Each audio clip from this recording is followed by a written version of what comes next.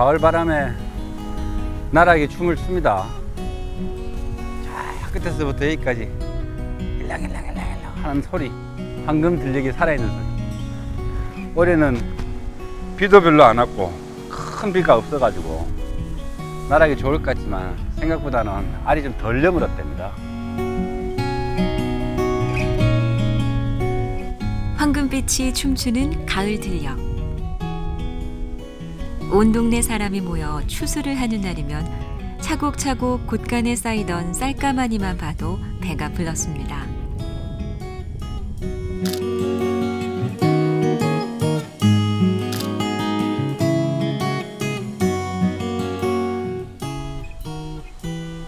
가을바람이 걸음을 재촉합니다. 사실 오늘 가보고 싶은 곳은 따로 있습니다. 저 멀리 다리 넘어 만날 수 있는 곳, 바로 기장 광산마을입니다. 1986년 광산이 폐광된 뒤에도 광산마을에는 사람들이 남아 또 다른 삶을 가꾸고 있습니다.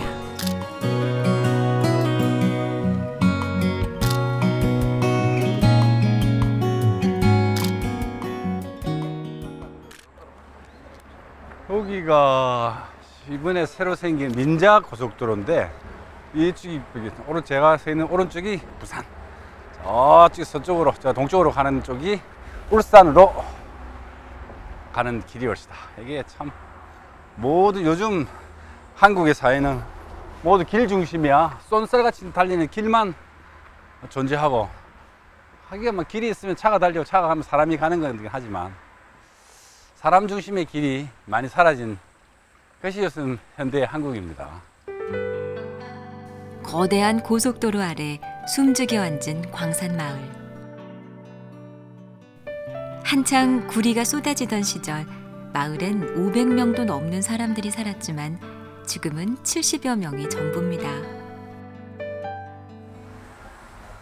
고추다 고추 고추가 어, 빨갛게 가네요. 아 여기는 완전 그림입니다. 야 여기 로man틱하네.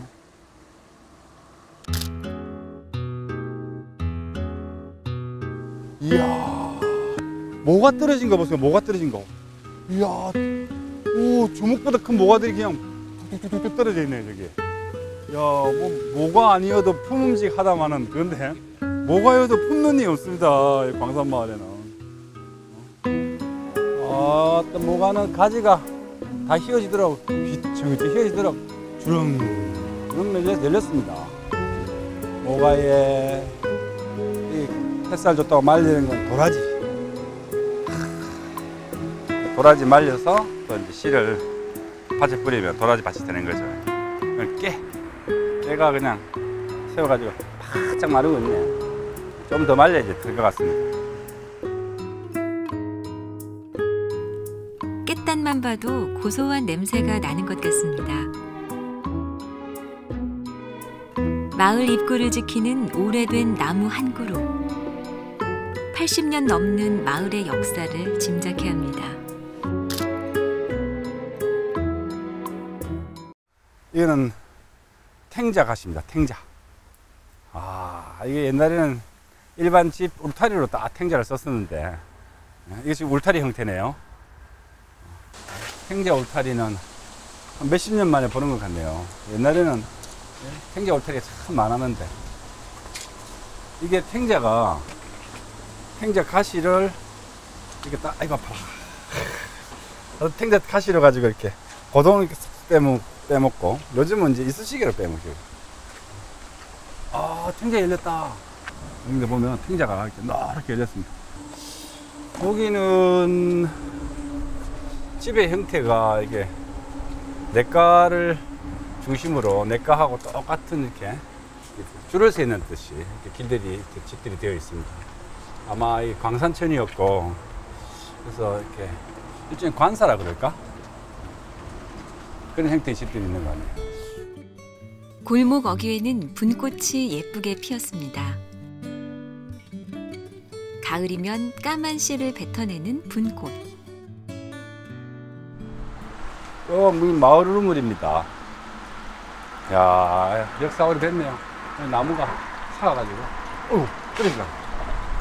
이쪽 스레트, 스레트 지붕에 소리가 둔탁하네.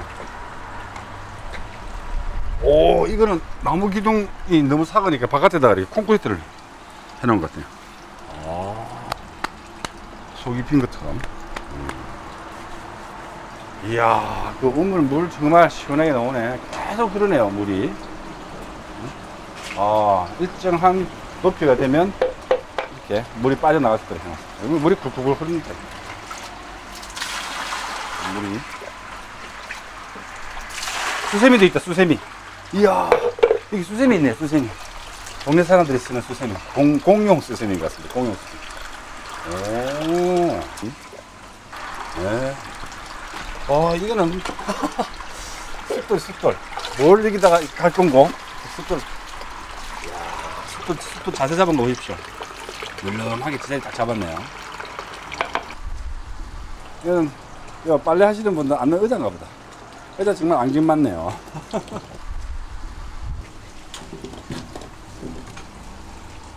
오, 빨래 빵망이. 이야. 이 유선형으로 생겼다. 물고기처럼 생겼다. 오. 빨래 빵망이 기억은 음, 공중에 맞은 기억도 있네. 가만히 생각해보면. 빨래를 놓고 이렇게.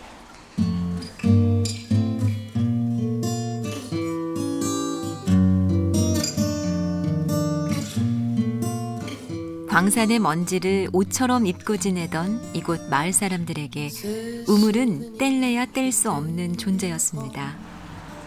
하! 이야, 이 집들이 다닥다닥 붙고 좁으니까 아궁이를 집안에 못 놓고 집안에는 뭐 간단한 큰일 하는 아궁이들은 다 바깥으로 빼놨네요. 이렇게. 이 손으로 이렇게 세면을 툭툭툭 쳐서 이렇게 쓱쓱 문질른 대단히 우리 정사가 맞는 그런 아궁이입니다.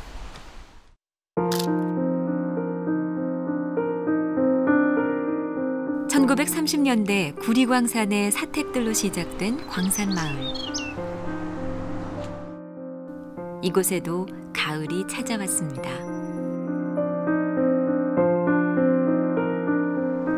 아, 이게 완전히 아, 옛날에 광, 광산촌 모습 그대로네요. 골목을 중심으로 좌우로 집들이 있고 이래도 집들이 좌우로 마주보고. 여기가 예를 들어서 여기 지방칸, 여기 창문 쪽 하나가 지방칸 이렇게 삶을 유지하던 공간들인 것 같습니다.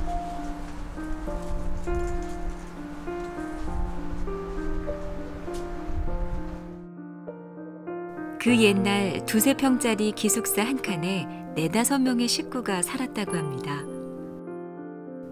골목을 사이에 두고 늘어선 다섯 칸 기숙사.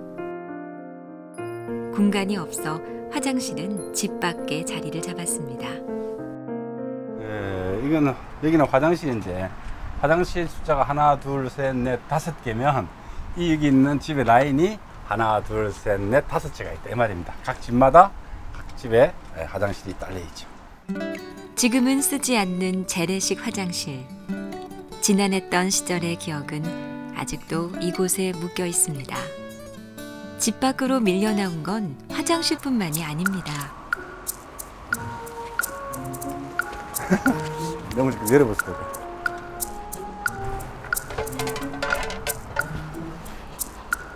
고기, 고기.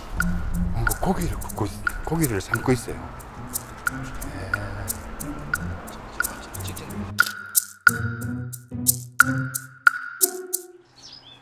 그 옛날 광산에서 일하셨던 분들은 이제 고작 서너 명만 남아 이곳을 지키고 있습니다. 이묵은 할아버지도 그 중 한 명입니다. 사실은 참 중학교 가고 저거 만 때를 다 써도 중학교 절고까지는 못하고 그래서 국민학교 졸업하고 나서 이래 이제 여기 보면은 그 당시 이제 해방되고 나서니까 광석을 이제 실을 내면은 아줌마들이 밖에서 이제 그 소고리 담아가 이제 하고 여 이제 우리 그래가지고 이제 그거 광 붓고 하고 난 찌끼레기 그런데 우리는 이제 땡김이 있어요. 단거수탱 좀 그거를 이제 우리는 이제 저 좋기 시작한 거지. 그때 이제 좋아가지고 요 와가지고 이제 그 당시에 1kg에 7전, 7전인가 그래 했어. 7전, 7전. 그것도 이제 저희들은 그 당시에 뭐큰 돈이었죠. 그렇게 시작한 광산 생활이 30년. 광산이 막히고 이묵은 할아버지의 발길도 막혀버렸습니다. 이제야 이제 끝 아닙니까? 나와버리고 뭐. 지금 이제 뭐해 저무는데 해가 저무는데 지금 어디 나갈 겁니까? 이제 항상 여기서 뭐 죽어나서 여기 있어야죠.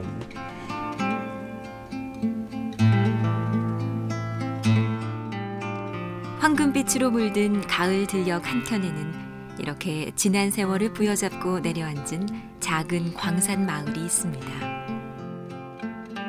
마음 넉넉한 가을. 광산 마을의 바람이 더 차게 느껴지는 건 왜일까요?